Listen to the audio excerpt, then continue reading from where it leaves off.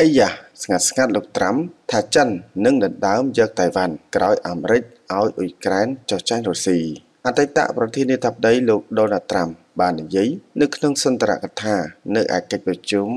America First Agenda ថាចិននឹងដណ្ដើមយកកោះតៃវ៉ាន់បន្ទាប់ពីសហរដ្ឋអាមេរិកឲ្យអ៊ុយក្រែនចុះចាញ់រុស្ស៊ីលោកត្រាំបាននិយាយកាលពីថ្ងៃអង្គារថាបច្ចុប្បន្នអាមេរិកជាប្រទេសដែលធ្វើឲ្យរុស្ស៊ីបំផ្លិចបំផ្លាញអ៊ុយក្រែន ក៏ដូចជាសម្លាប់មនុស្សរាប់សែននាក់ហើយវានឹងកាន់តែអាក្រក់ទៅអាក្រក់ទៅ បន្ទាប់ពីมันមានសញ្ញាបញ្ចុះកម្ដៅសង្គ្រាមនៅឡើយប៉ុន្តែ វានឹងមិនដែលកើតឡើងនោះទេបើខ្ញុំជាមេដឹកនាំប្រទេសរបស់អ្នកហើយចំណែកបញ្ហាដូចគ្នានេះដែរគឺចិនជាមួយនឹងតៃវ៉ាន់គឺជារឿងបន្ទាប់លោកត្រាំបានកត់សម្គាល់ថាជាក់ស្ដែងអាមេរិកបានចុះចាញ់នៅអាកានីស្ថានរួចទៅហើយ ហើយបានបន្សល់ទុកពលរដ្ឋអាមេរិកនិងឧបករណ៍យោធាល្អៗបំផុតរបស់ពិភពលោកក្នុងតម្លៃ85,000លានដុល្លារទន្ទឹមនឹងនោះកាលពីសប្តាហ៍មុនក្រសួងការពារជាតិជប៉ុនក៏បានបញ្ជាក់ផងដែរថាប្រទេសចិនអាចនឹងបង្កើនការអនុវត្តប្រតិបត្តិការហោះហើរដើម្បីបង្កើតការគ្រប់គ្រងលើកោះតៃវ៉ាន់ដែលជាសញ្ញាបង្ហាញពីភាពតានតឹងកាន់តែខ្លាំងឡើងរវាងភាគីទាំងពីរ បាទហើយចំពោះអត្ថបទព័ត៌មាននេះសូមបញ្ចប់តែប៉ុណ្ណេះនិងសូមបន្តជូននៅអត្ថបទព័ត៌មានថ្មីមួយទៀតដែលតាក់ទងទៅនឹងទីក្រុងវូហានបិទអាជីវកម្មនិងការដឹកជញ្ជូននានាជាថ្មីទោះរកឃើញកូវីដតិចបំផុតក៏ដោយ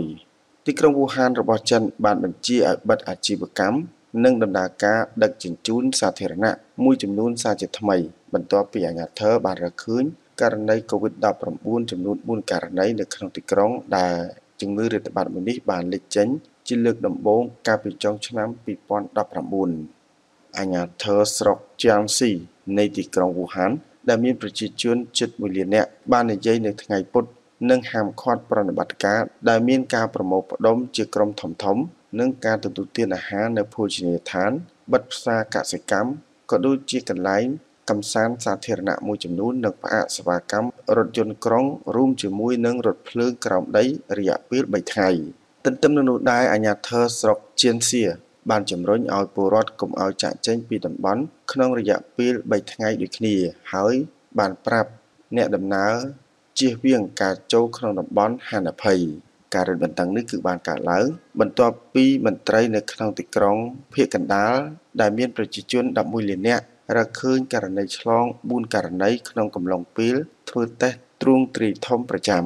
កន្លងមកប្រទេសចិន បានដាក់គោលនយោបាយសូនកូវីដដ៏តឹងរឹងបំផុតហើយអាជ្ញាធរទូទាំងប្រទេសក៏បានអនុវត្តការបិទគប់និងការធ្វើតេស្តទ្រូងទ្រីធំ ដែលប៉ះពាល់ដល់មនុស្សរាប់លាននាក់នៅក្នុងតំបន់ទោះបីជារកឃើញករណីឆ្លងក្នុងកម្រិតតិចតួចបំផុតក៏ដោយចំពោះអត្ថបទព័ត៌មាននេះសូមបញ្ចប់តែប៉ុណ្ណេះ ជួបគ្នានៅវីដេអូក្រោយៗទៀតសូមអរគុណសូមគោរពលា